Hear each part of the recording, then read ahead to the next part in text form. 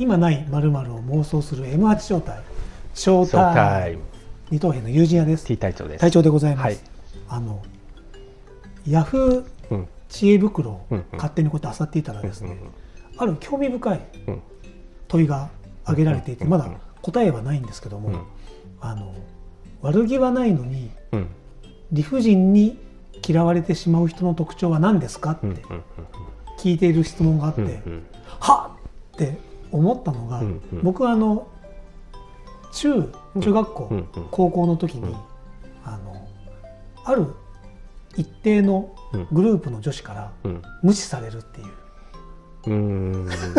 のをあのされたことがあって、うんうん。で今会社でも、ある特定の女子から無視されるっていう。のがあるんですね。うんこれは何だろうって。で僕は全然悪気はなくて、ただ一つうん。心当たりはあるのは、うん。やっぱりその一言多い。ああの人の話している時にパッて思いついたことを喋っちゃう、悪気がなく。っていうのはうん。なんとなく思っています。うん。っていうのはそのまあいろいろこのうん。動画を始めたところで、うんあのコメントをいただいたのですね、うんあの右側の人が 話と話を遮ってうん。聞きづらいっていうのが右ってどっちだってやった時にはっ画面で見ると俺右だと思って。うん。いやどうやらうん。僕が隊長の話を遮っていてうん。聞きづらいって思っている人もいる。っ人もいるって話ですね。ていうのを見た時に、あれ？もしかしてこの悪気はないのに理不尽に嫌われてしまう人の特徴、うん一言余分うんうん。そのまあそれもあるかもしれないしその会社の人うん。会社で二等兵のことを嫌ってる人はい、に対してもそういうことがああった？あったんじゃないんですかね。こでもう話を遮ってしまう遮ってしまったのか、うん。なんて言うんだろう。多分、何か自分が忙しい時とかにうん。何か僕が言ったこと言ったこと。ああその言葉に対してみたいなことですかね、うん。うんうんなのかなっていう。それが、まあ、1回2回だとそんなにあなんかもともとはそうでもなかった。最近とかまあ最近というか、ある程度こうある程度経ってからうん。急にですね。うんうん。っていうのはなんかまあその中高の時も、うんうん。で高校の時は、うん。あの一回無視されてからうん。後で仲良くなったんです。ちゃんとうん和解したんです。で和解した時にうん言われたのは、うん。やっぱりなんかそのうん。ある時にうん。そんなことを言ってた。うん。それがそれがうん。あの嫌いになった原因みたいな。それはグループなんですか？人、多分一人がうん、そこに反応してあいつうざいよね的な。的なところからそのグループが一斉に無視するっていう。まあ中学高校とかはありそうですよね。まあ女子は？女子は女子はっていうか、まあ、いじめみたいなもんじゃないですか。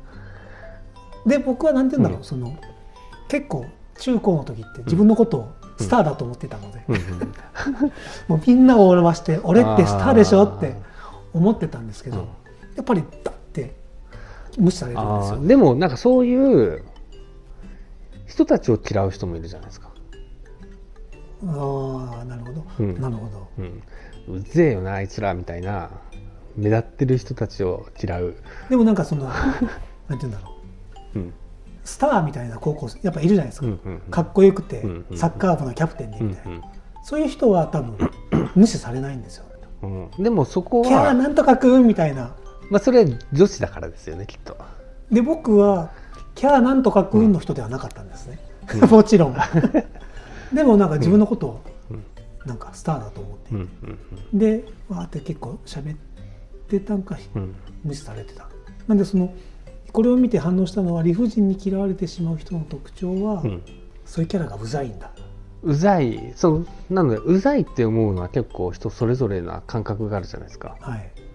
僕もなんか受け入れられない人とかは結構いたりします。どんな人が受け入れられませんか？どんな人って変な人。ドキドキ。ドキドキ。あの変な人。変な人っていうのはなんかみんなが受け入れない人。それはなんかうんと。今言ってる人は多分それは僕も受け入れませんよみたいな人じゃないですか。うん。でもこの人は悪気はないのに理不尽に嫌われてしまう。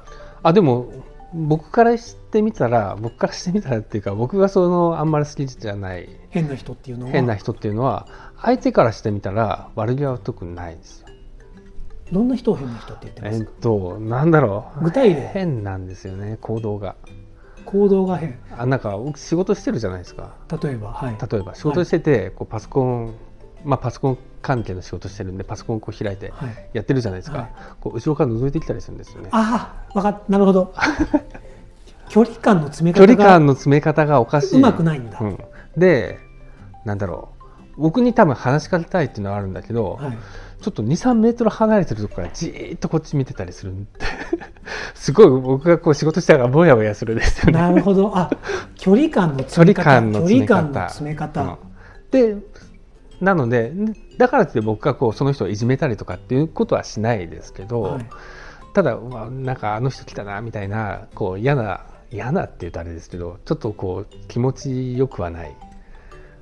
なるほど。っていうと僕もうん。距離感が近くないのに、うんうん。慣れ慣れしい。慣れ慣れしい慣れ慣れしいはあったかもしれません、慣れ慣れしい。そ慣れ慣れしいはあるかもしれなういです、ね、でなるとあちょっとこの人苦手だなっていう気持ちがっていうのはあるかもしれないですね。こっちはうん。距離感が近いと思ってるからうんうん。近づいていくけど、うん。相手がその距離を認めてない時。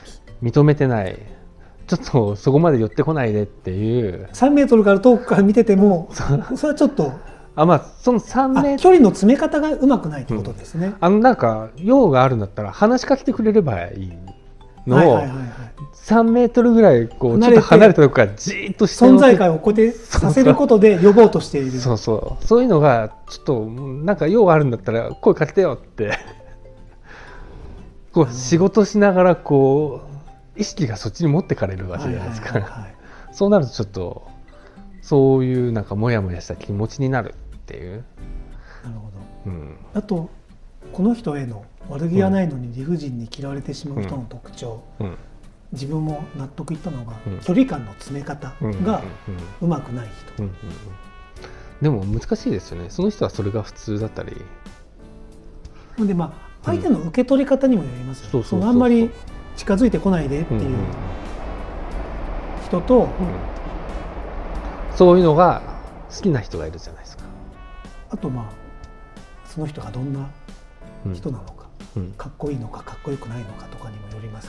それのバランスにもよりあますよね。かっこいい人だと距離がギュンと来てもは 受け入れられるけどみたいな、キャラクターが立ってればうん、なんかそういうのがまあねまあこう男性目線でいくと可愛い女の子だったら 近寄ってきてもでもなんか、うん。僕としてはなんか、うん。可愛くても、いうん。や好きになっていいなら近づいてきていいけど、いうん。や好きにまあそういう心つもりじゃないなら来ないでって思うんですよね。うん。やめてようん。うん。好きになっちゃうからさ、うん。えうん。ーっていう取り留めとない 話なので何ですかね、要は理不距離感の悪気がないのに理不尽に嫌われてしまう人の特徴は、うん。距離感のあの詰め方なので例えば自分がそういう嫌われるタイプだと思ってるなら人はちょっと距離感を気にしてみましょうってところですよね。あ近づきすぎてるかもしれない。そう。相手が求めてるのはどこなのかをちょっともうちょっとこう相手を観察するなりしてはい、測ってみましょうみたいあ自分がうん。その距離を自分の距離にしたいと思ってる人の距離。感をうん。測るっていうことですね。なそうですね。多分慣れ慣れしいみたいなのそういうところあるじゃないですか。うん。なんか仲良くなるためにはちょっと仲慣れ慣れしく近寄った方がいいんじゃないかなみたいな。でもそれは本当に受け取り方も受け取り方。によって違いますもうん。んね。で相手の性格とかによっても。そうなんですよね。うちの親父とかは結構あいつ初対面で慣れ慣れしくしやがってとか言って怒ってますからねっていう思う人もいれ思うば人もいるのでよく来たなって初めから受け入れる人もいフレンドリ。ーな感じのはい人もいるので、なので、まあ、相手を観察するしかないですよね。なのでこのうん相談の人もうん一回その相手をよく見てみる。そうで相手をよく見てみるといえばエニアグラムですよ。ああなるほどそうですね。ん。そどういうタイプかどうがいうタイプ有利タイプの人はやっぱり一定の距離が欲しかったりするので。そういうなんかそうのん。相手がどんな人かで詰め方が分かったりしますよね、詰め方が分かったりす。るエニアグラムを知ると、はい、なので、まあ、そういったところも興味があればあの動画で上エニアグラムの動画も上がってるので、一度見てみると。ぜひ、はいよろしくお願いします。ろしくお願いします。あのありがとうございました。ありがとうございました。チャンネル登録もよろしくお願いします、ありがとうございました